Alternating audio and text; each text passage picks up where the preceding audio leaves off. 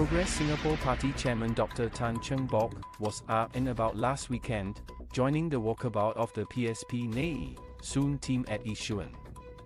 Many Yishun residents of different ethnic groups were glad to see us and came up to shake hands and took photos with both Dr. Tan and the rest of the team.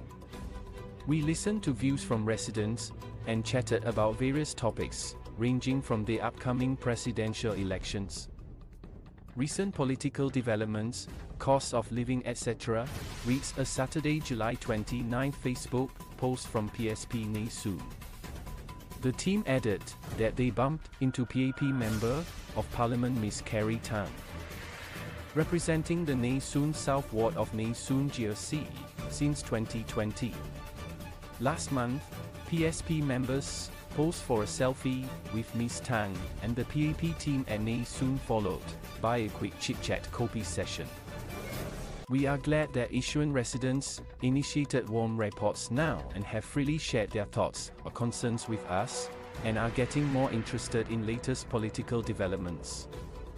Regardless of our political views, we are all Singaporeans and want the best for our country and citizen.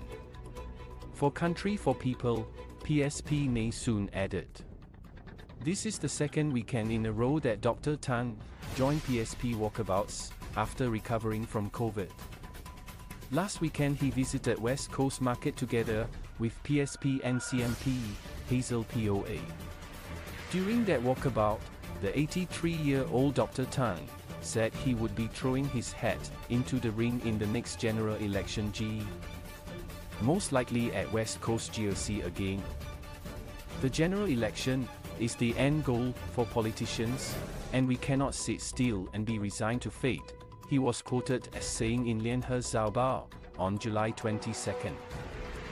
In GE 2020, the PSP slate, headed by Dr. Tan, very narrowly lost to the PAP team, which Transport Minister S. Iswaran, winning 48.31% of the vote.